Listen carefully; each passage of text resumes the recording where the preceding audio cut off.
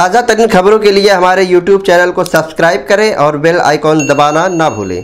अगर आप Facebook पर देखते हैं तो हमारे पेज को लाइक करें।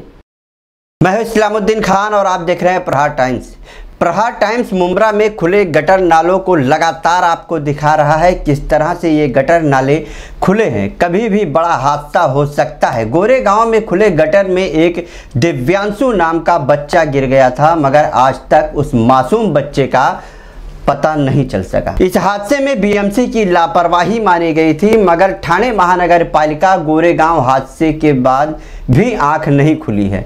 और मुम्बरा शहर में खुले गटर नालों को बंद नहीं किया गया है। आपको बता दें कि मनपा की लापरवाही से दारुल फला मस्जिद के पास एक्सीलेंस क्लासेस का एक बच्चा खुले नाले में गिर गया। आपको तस्वीरें दिखाते हैं। देखिए, ये वही नाला है जिसमें कल एक बच्चा इस नाले में गिर गया था। तेज बारिश की वजह से नाले में पानी का तेज बहाव था। ये घटना कल की बताई जा रही है।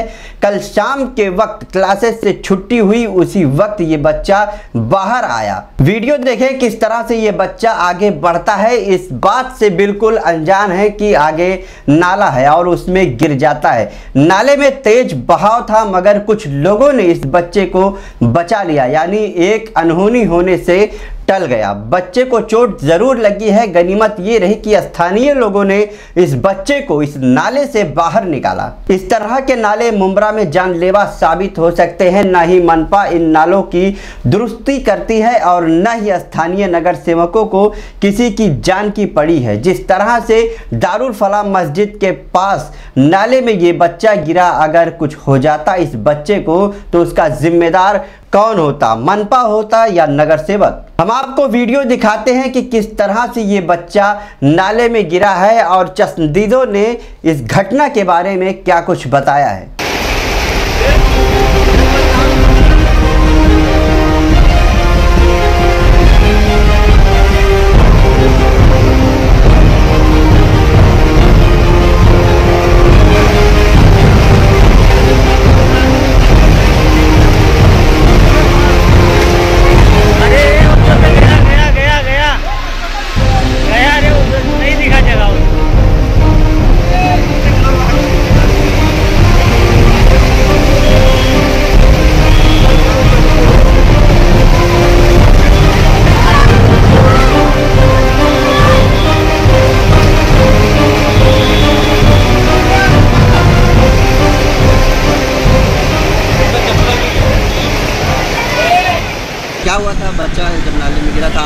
पानी पूल भरा हुआ था। वो बच्चा आया स्कूल से क्लासेस से भागते भागते और उधर पार करने गया। तो वो समझा लादी है उधर। तो गिर गया। कितने बजे की घटना ये कुछ छः सवा छः बजे की घटना। जब क्लासेस छूटती है ना तभी की घटना है ये। तो लोगों ने उसे निकाला? लोगों ने दो लोग आए बेचारे दौड़ के बार, बारिश में वो निकाले वो अंदर से। और अभी उनको ऐसे खुला रखने का खुला पड़ा है आज कितने दिन से वो पूरा। और कोई बच्चे लोग दो दो चार चार दो एक- इसके पहले एक हुआ आज एक हुआ। परसों कल रात को एक हुआ। दो घटना घटी थी इधर। दो घटना हुई हाँ। म्यूनसिपाल्टी ध्यान नहीं देती इधर। मौजूद थे जब? हाँ मैं मौजूद था यहाँ। यहीं से खड़े होके वहाँ देख रहा था। बारिश भी खूब हो रही थी तो बारिश में भाग नहीं सका। उधर तक उधर से दो आदमी लोग आए वो निकाले उनको। क्या हुआ था कैसे घटना हुई थी? कल एक क्लासेस का बच्चा शाम को पाँच बजे ज़ोर से बारिश हो रही थी ना? तो एक क्लासेस का बच्चा जा रहा था उसे लगा वहाँ रास्ता है। तो बेचारा नाले में गिर गया और पूरी तरह डूब गया। दो चार लोग उसको बचाए तब जाके बचा नहीं तो बह गया होता। आज तीन साल से नाला खुला हुआ है प्रशासन यहाँ पे ध्यान नहीं दे रहा है। लोग गिरते हैं बच्चे गिरते हैं सामान गिरता है और जो नाला है उस बताया जा रहा है कि कल कल दो बार ऐसी घटना यहाँ पर हो चुकी है। कल यहाँ पे परसों एक लड़का गिरा था और कल भी एक लड़का गिरा। दो घटना आ चुकी है। दोनों बच्चों को लोगों ने निकाला तो बच गए होते, ऊपर क्लासेस है। जब क्लासेस छूटती है तो बच्चे लोग की भीड़ हो जाती है। और बच्चे ने समझ नहीं पाया और गिर गया नाले के अंदर। दो चार लोग ने मिलकर उसको निकाला बाहर, उसका बैग भी डूब गया था बेचारा, नहीं तो बह गया होता वो।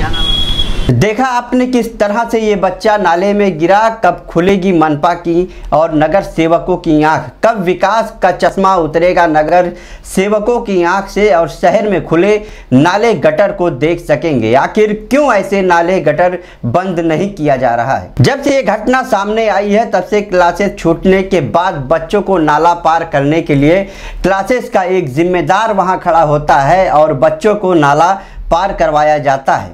क्लासेस के बच्चों में इस नाले को लेकर दहशत बनी हुई है। क्लासेस की तरफ़ से भी नाले को ठीक करने की मांग की है क्योंकि बच्चों का आना जाना इसी रास्ते से होता है। तो जिस तरह से घटना सामने आ रही कि जो क्लासेस के बच्चे हैं वो बाहर निकलते समय जो है बाहर नाले में गिरे इस तरह की घटना सामने आ रही